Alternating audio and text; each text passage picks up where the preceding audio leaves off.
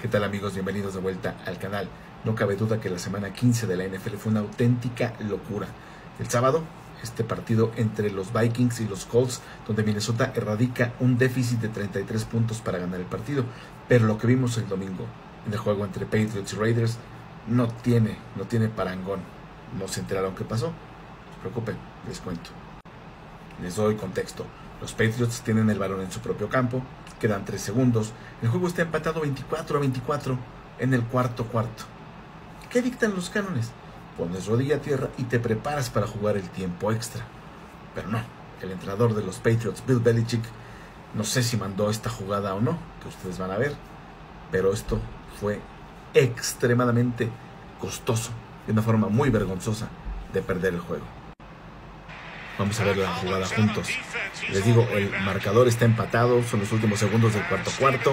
Los Patriots no tienen ninguna necesidad de estar haciendo lo que están haciendo. Luego vean a Jacoby Myers. Grave error.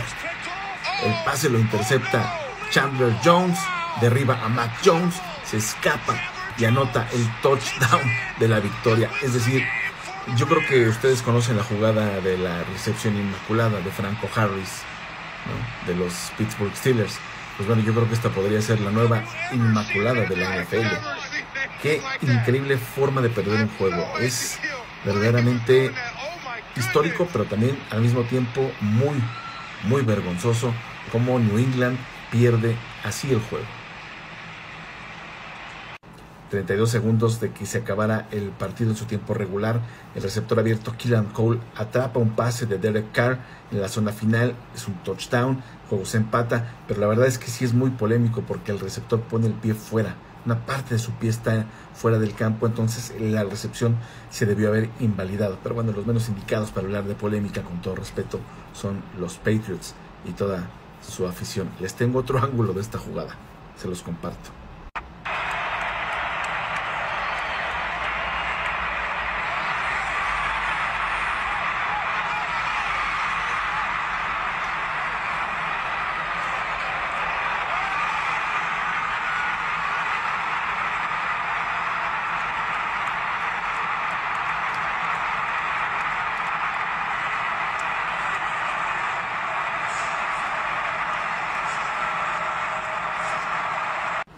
A pesar de sufrir esta muy vergonzosa derrota, los Patriots todavía tienen la oportunidad de clasificar a los playoffs.